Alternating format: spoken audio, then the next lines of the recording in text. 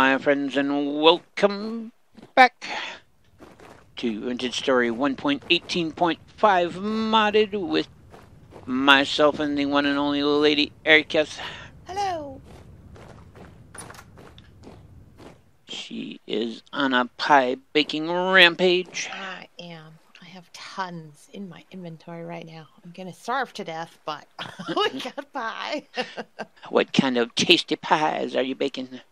We're baking cranberry. Ooh, what kind of grain? um, spelt and cranberry. I just harvested some spelt from up top. And we've got plenty of flax to see us through, but cranberry doesn't give us much food saturation, so flax and cranberry is not a great combination. Next time I'm gonna go traveling, I'll have to have you do me up a couple of pies to take with. Of course, Yeah. uh, probably not the best travel food, huh? Because I think I've got to place it and cut it, and then I can't pick it back up again. Or can I? I, I suppose I could just chop it up into into pieces and carry the pieces, right? Well, you can place it down and you can certainly carry it.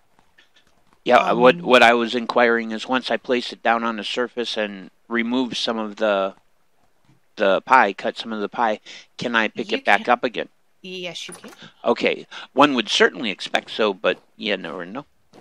So here is a here's an example. I got half a pie right here. So you can see you can place it down. You don't actually have Oh. to put it on a table. You can place it on the ground. Right, right. Excellent. Yep. So Yeah. it is not a problem. Have to get you to bake me some Cornish pasties. So I can do that. I can do vegetable pies. I can do meat pies. Well, I that's was thinking I would try bushmeat and and parsnip or something like that. well, that's what I was gonna say. Is if you wanted to do an experiment and Mhm. make like like two or three meat and vegetable pies of some sort. So the sad thing is apparently once I pick an ingredient, I cannot change it over. So I can't do a complete meal. I can do meat or um vegetables, but I can't do meat and Ooh. vegetables, which I Well, well, am. that could actually work out good though. You know, you do you do like a like a red meat pie and a, um, you know, like you say parsnip pie, and I just take one of each with me, you know, and like keep my nutrition balanced. In fact, pie could become my new way of life because you make me a meat pie, a fruit pie, uh, uh, cheese pie. Like there could be a pie for each of the food groups. Yeah, but then they won't stack in your inventory. Part of a complete nutritious breakfast.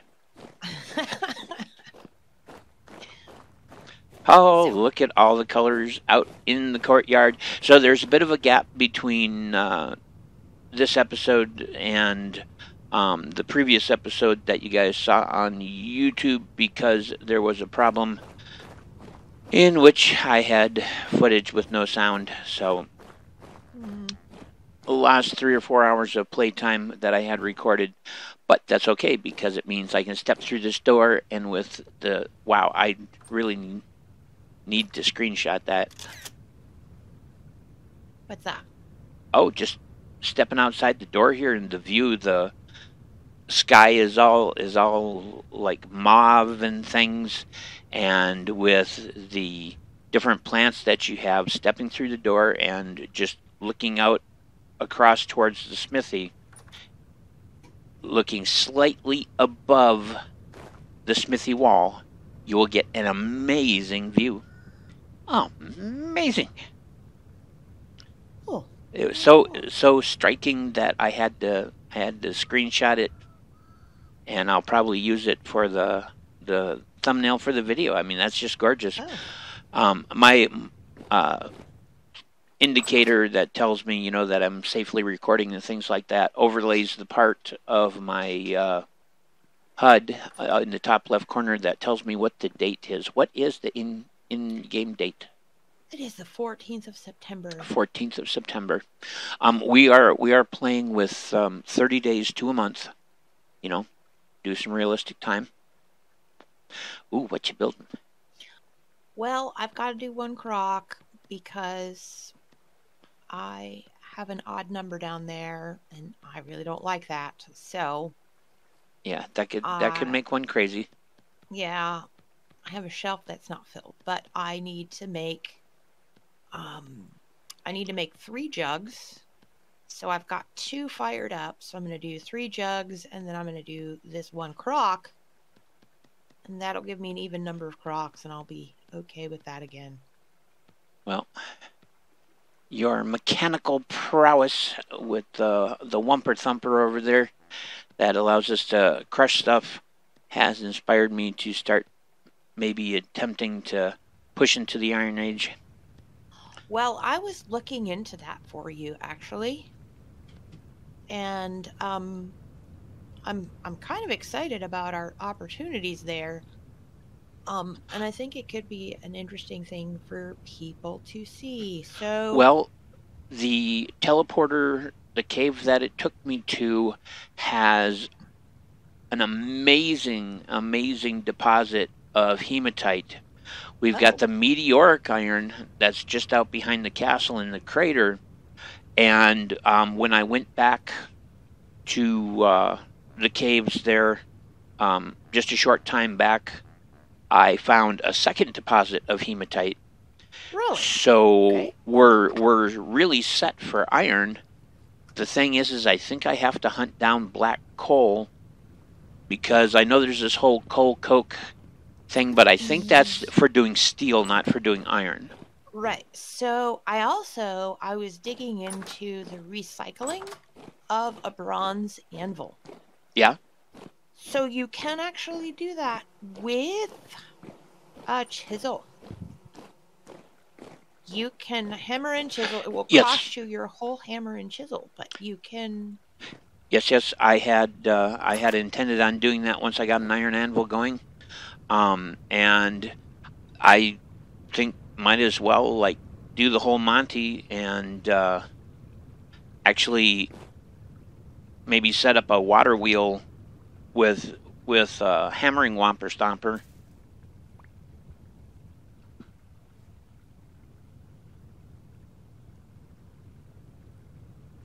I think that would kind of be pretty cool to do all of that mess.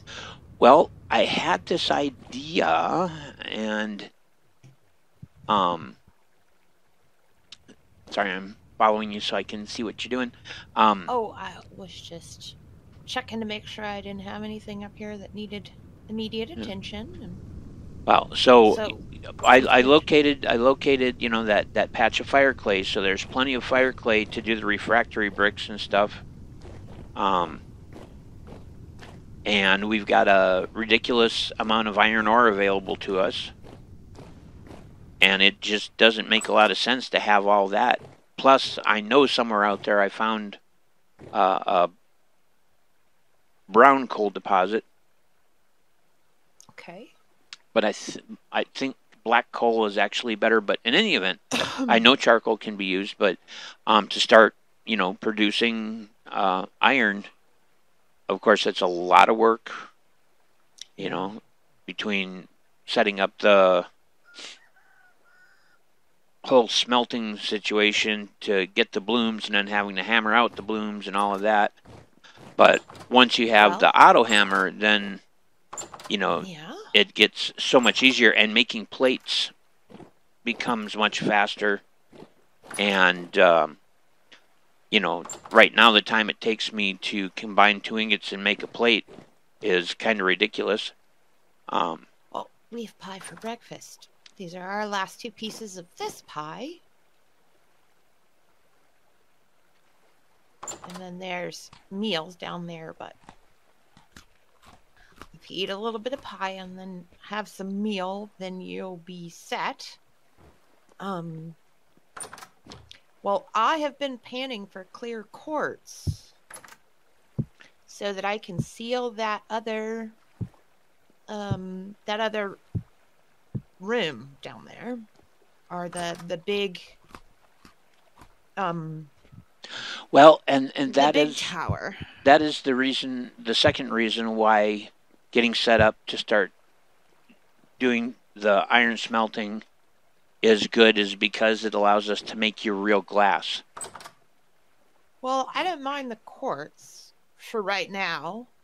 Um so I Well, mean, with it's- with chiseling, clear quartz glass, glass and the ability to combine bits means the ability to build custom windows. Ooh. Yeah, I shouldn't have said that out loud, but Yeah, you, you probably shouldn't have said that out loud. but bec- you know, I I can I can take a block of the clear quartz glass, I can Mhm. chisel it down to the thickness that we want, and then I can replace specific pixels going around it with wood or or something that would give the impression of like you know letting and like actually build you.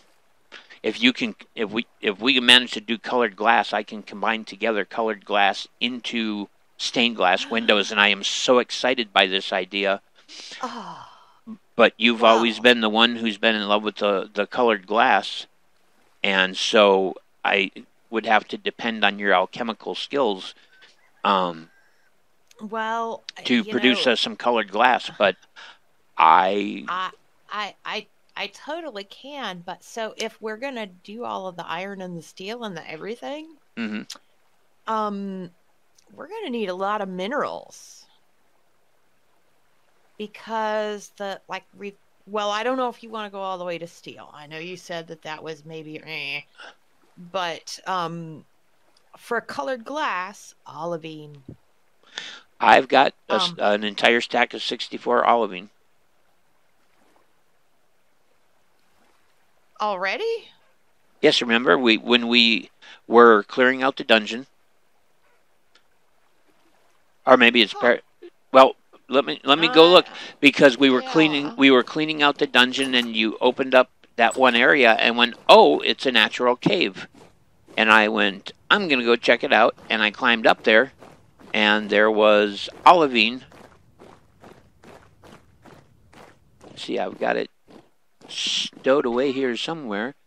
It is 33 olivine that I currently have, and I know the location so I can get more. Well, it takes, I think, four instead of the normal two. But um, I think crushed olivine. Hold on. Um, olivine.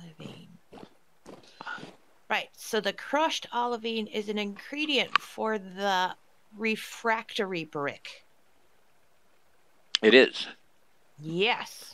They've changed that all around. It used to be all you had to do is make bricks out of out of fire clay uh, and So, sla- slap yeah. them together and and put your your ore and coal in.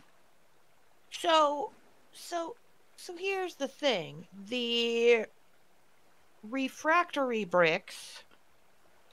Um. Aren't those for steel production rather than iron production?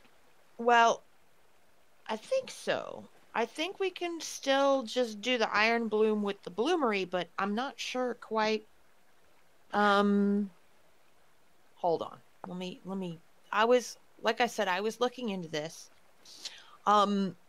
Because I I was looking into the um the quartz well, I was looking into the the colored glass and the quartz glass. Now, you can glass glass is crafted using the bloomery. However, the stained glass, um, it the you know green glass Mhm. is not a problem there, but um, there's the smoky quartz glass that we can do now. Okay. Um, and you got to get the little crystals to do that. What little crystals? Um, so there's actually little the little crystals that grow. Um, Oh, They- that's right. Yeah, yeah. yeah. Crystal the clusters, right? vugs. Yeah, Chris. So there's the vugs. things, and um, those are like uh, the crystallized gemstones Inavugs, and they are geode looking things. Yes. And that's how you make the smoky quartz stuff. Um, and that's how you do the smoky glass and then uh, the purple glass. Now, uh, we don't have to do all of that. Um, but yeah, so the um just to just to do the glass, we we just um just put the bricks together and do the bloomery, and then you know we we know Right. Yeah. how we're kind of doing that. So so yeah, the the refractory bricks that's that's a higher level thing. Um, Mhm. I I should just need a bloomery, a chimney, and um, it's Yeah. four fire clay to make a brick, and however many bricks to make those. So that Yeah. means I'm I'm actually good to start. But here here was Okay. my here was my my thoughtification. Um, so the moat runs around behind the smithy, right? Mm-hmm. And if there was a um, channel that came off the moat towards the castle, right, and then took a turn along the wall or whatever, you know, um, then a water wheel, an overshot or undershot water wheel could go in there, and Mhm. the um, automatic hammer could come through into my smithy. Yeah. so that there was, you know, a helve hammer and and you know all the smithy stuff smithying.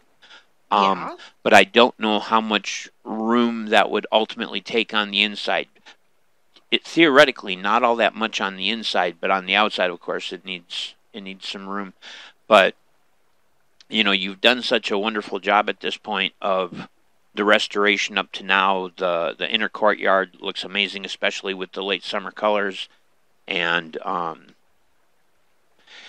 you know, you, we've got the pounder going over there, and I mean, it, it's just really starting to feel like if I'm going to truly contribute, other than running around and killing things, which isn't very exciting because we've got everything set to passive. Um,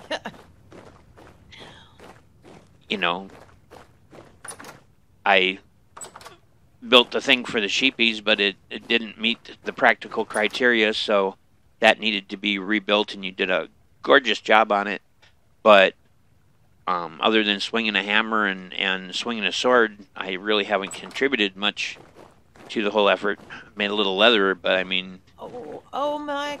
You contribute actually a lot. well, You're keeping us fed. I mean, it takes forever for these crops to grow. Without the things you're killing, we would starve. without your death and mayhem, we could not live. um, well, so I'm just saying that you know it, you you've done such a good job of sticking with the aesthetics of the castle and continuing to you know add more and more things that are really bringing this all to life. Um, the the work on the tower over there is fantastic. You know, I mean, so if I'm gonna do a uh, a hammer, having it over there in the tower, well, that's a, a long way to go. That means I've got to set up a complete smithy over there. So it's either I, I do a sub smithy in the tower, or I find a way to bring the automated hammer into the the smithy itself. Well, I would rather you have an automated hammer over here for for dealing with all of that. Um, first of all, I think it would be far too complicated to try to hook up a whole second situation to that existing structure over there. That's Yeah, gonna Yeah, we'd have gonna- to we'd have to beef the the windmill and Yeah. uh, add in some extra gearing to allow it to split the energy. Basically, it's one of the large size gears, but then they they pro- the way they produce torque and stuff. Um, we would need, you know, like I say, to beef up the windmill and stuff. So, um, I think that's just a recipe for us to yell at each other a lot. Let's not do that. Yeah, I, I think there's a. I think there's a better way. And just- you you just just absolutely living in that kitty mask. It it tickles me. Oh yeah, I keep forgetting I have it on. Well, I I like it. I like it. It's exotic. Ooh, exotic, Well, I uh, look a little, little like an anime character over here, but You said you made me some boots. oh no, I bought you some boots. You bought you yes, you bought me some boots. That's I bought you some nice. I bought you the Squire leather boots, ooh. and I bought you a tunic. Well, am I just too hot to handle in in my in my foxskin Well- boots or what? Well, so I thought you would want to save those for the winter time when they're when the warmth is really gonna matter. Yes, actually, I was gonna tuck them away and and find some alternative. Right. We had like So- some some slippers around or some some such. Um. So yeah, know what I? If you if you go look at the chest that's beside your bed, that's where um I've put all of that stuff for you. I didn't know I had my own chest. You have your own chest. Oh, it's old and creaky like me. I, I like it. you, you really didn't know I put your own chest there? ooh, ooh, ooh, I'm I'm all excited. Yes, squire boots and and a squire tunic. And the I can repair that squire shirt so that you have that whole set there. Well, and it gives me a place to uh, Put You your know, extra stuff. well store my armor and things that I don't Oh. need to be wearing all the time. Oh, you know what? Hold on. I found out we can make armor stands. I was gonna make you an armor stand.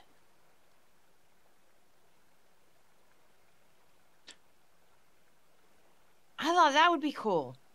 Yes, yes. Yeah. That was the other thing that I was that I was gonna make. So let me put my my gains down here in the smithy from my Hmm. It will My- not will not allow me to put on the tunic. what? Oh, um, you maybe have it in the wrong slot. Well, so there's the upper slot and lower slot, like coat and shirt. And well, maybe it goes in the trouser slot. That'd be a little bit strange, but it does not. know. Um, But- I think it goes in. Oh, the oh, wait, body- yeah. Oh yeah, it's considered to be like a, a scarf or something. yeah, yeah, yeah.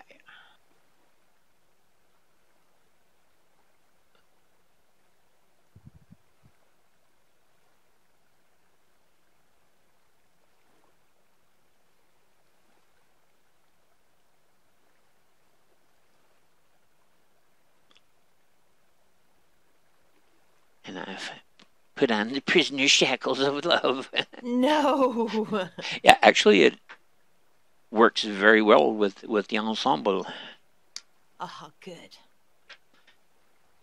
I need to go get my hat and then I'll I'll catwalk for you.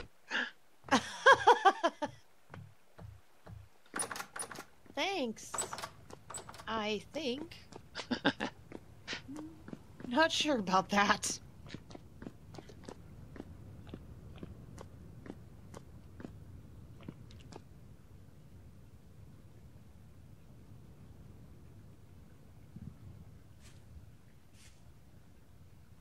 No baby sheepies yet. No, it's gonna take them a while, I think.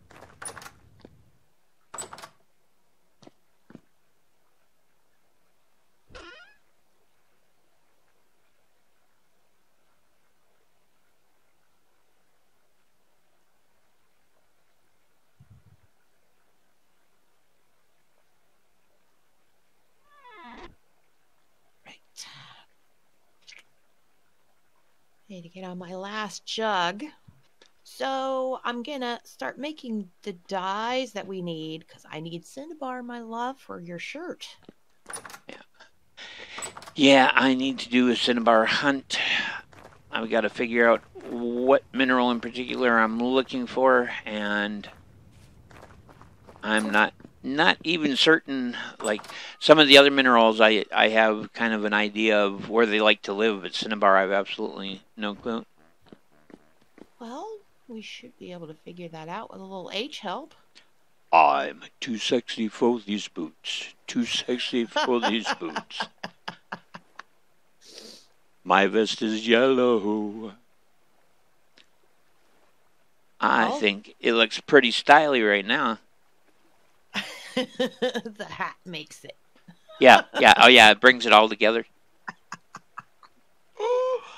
Ooh. All right, my love, I love you. Did you really put on the prisoner binds? Oh, Yes, I did. See, there. It adds it adds a nice gray cuff to the ensemble. Yeah. Uh huh. And, I'm gonna make my jug now. it, it really it brings out my acorn amulet. I didn't realize you had an acorn amulet. Yes, all it takes is some some string and an acorn. Yep. There's a mod that adds in uh, amulets with the seeds of a whole bunch of different trees. It's pretty cool. We've been looking at updating uh, to a newer version. Um, I've just been kind of camping on this version because everything we got works. No chunks of our world are going to suddenly vanish, you know. And Yikes. Yeah, no, we we definitely don't want chunks of our world to vanish. and so um, I've been very hesitant to update. Uh, one of the viewers did indicate that they're running a number of the mods that were running on. Uh, I think it's 118.13, which I think is the newest version of it. But you know, I'm just just concerned. I don't want to want to have it go to hell in a handbasket. So Yeah. But I've just-. I've enjoyed just wandering about and observing your day. Well, I am about to do a firing down here for my jugs. Now I'm making dye and mordant and things like that. And then dyeing the cloth that we have, but I'm prepping in advance because um there's going to come a point in time where I um I'm ready to actually do the, all the cloth stuff. Yep. Yeah, Well, I just haven't quite got to it yet. So, I am gonna check and see how much fire clay I have hidden in here somewhere. well, I have two stacks and 10 back at the back at the ranch over there and I am happy to make you some bricks. Yeah, if I'm if, Oh, if I'm gonna do this, since I'm gonna have to do an iron anvil, um, I'm probably gonna wanna be set up for at least two bloomeries. well, I will happily hang out and do some bricks for you. Let's see. so I can take I can take care of that. Um, And while I've- you're mining and stuff. Um, I'm blessedly ahead on coal right now, charcoal, because I had just done a firing. Um, because I would, I would love to get you some real glass going, you know.